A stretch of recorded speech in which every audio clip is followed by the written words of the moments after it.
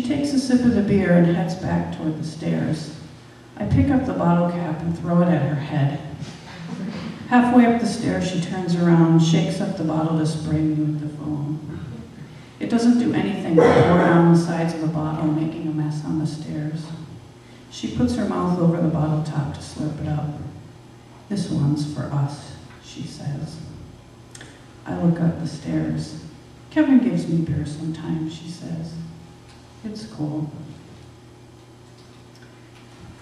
So, Kevin is sitting in a webbed lawn chair next to the picnic table.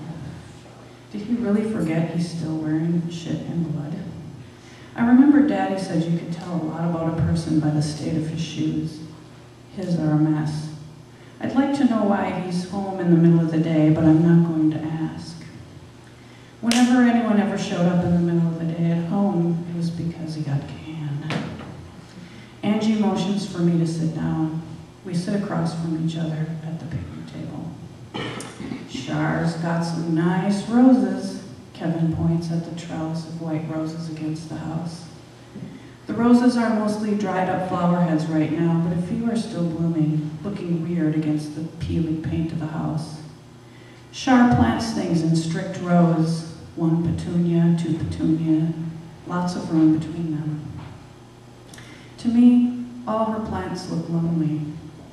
Kevin likes them. He won't shut up about the roses going on and on. You gotta be a goddamn expert to get roses that pretty, he says.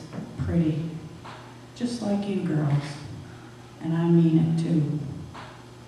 Me and Angie look at each other. We both sit up straighter.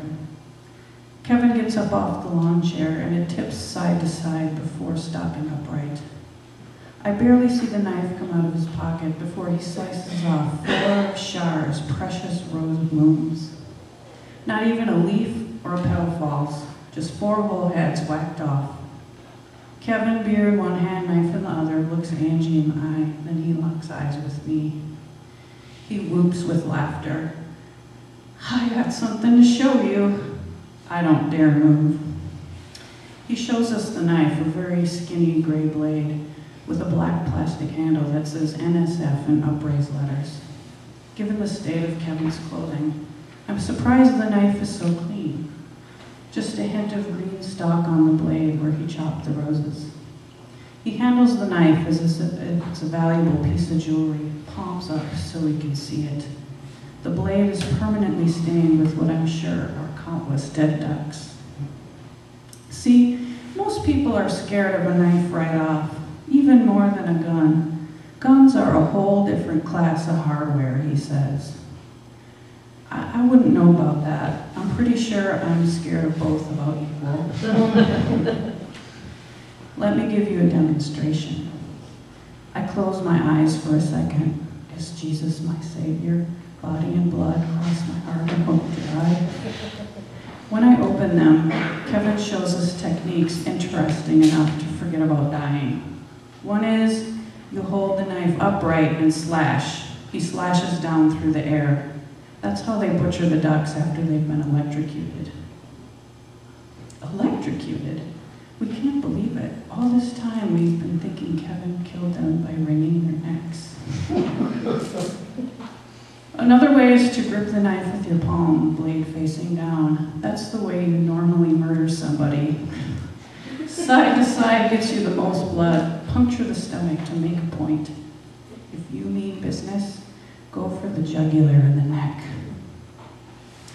Given the kind of trouble you're likely to find yourself in, maybe a boy is trying something on you, give him the side treatment. That way you'll draw blood, get him scared, but not really hurt him too much. I slouch down at the picnic table, feeling my muscles give way. He wants to protect us, not murder us. He wants us to like him.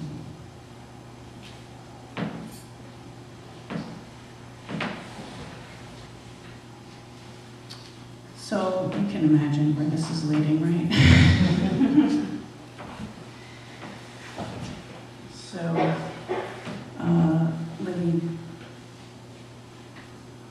something definitely weird is going on with her friend. And this next scene that I'm going to read is um, her first confrontation with her friend about it. And um, there's a railroad tracks that you know runs uh, along the side of this uh, neighborhood. So this is a place that both of the girls go to for uh, sanctuary, I guess, if you can believe it. um, the bushes at the tracks are sticking into my back, poking me when Angie finds me. I force myself to say hi. Nothing comes out, even after I open my mouth again. Dread rises in my throat. We watch the trains pass through like TV reruns. I scan the clacking cars, reading and counting. Santa Fe, Great Northern, Saskatchewan, Santa Fe, four, Santa Fe, five. Angie sits Indian style cross-legged with her eyes closed. She says, listen, listen to that. Trucks are driving down the street near the factories. The factories talk back.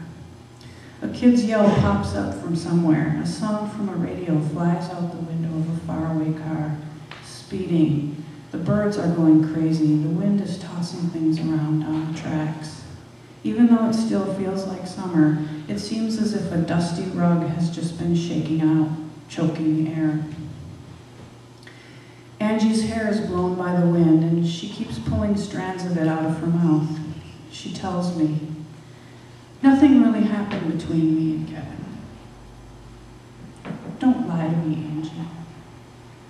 She lifts her chin, picks at her fingernail polish. It's chipping off in spots. I take one of her hands and use my thumbnail to scrape some of it off. Angie says, Ah, oh, Libby, pulls her hand away. It doesn't come off that easy, I say. We rest together in the semi-shade of the bushes, flattening out the grass and brush. Notice Angie's got new sandals on. I still have my same flip-flops, but I did get a new bra after her comment after the sidewalk sale days.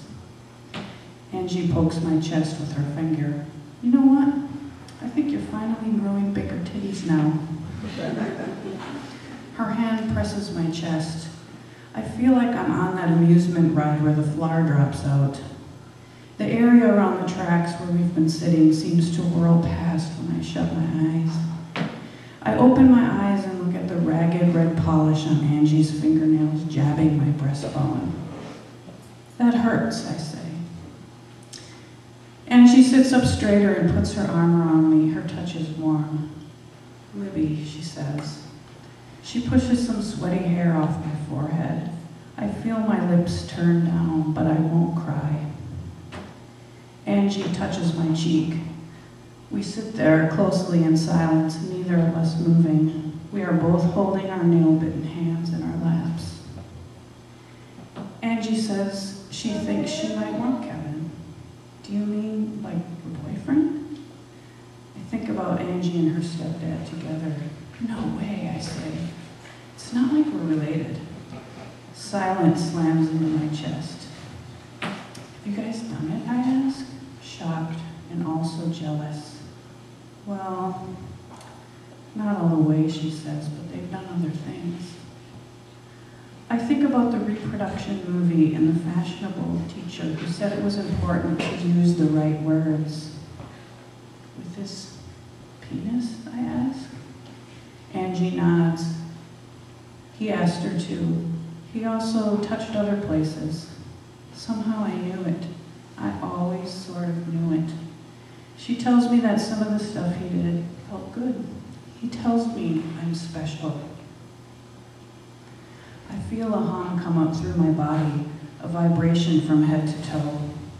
Before I came to Rubberville, I remember we passed by towns on the highway and Daddy would say about the small ones, blink and you'll miss it.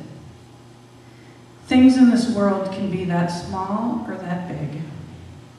I don't blink at all when she tells me how it started.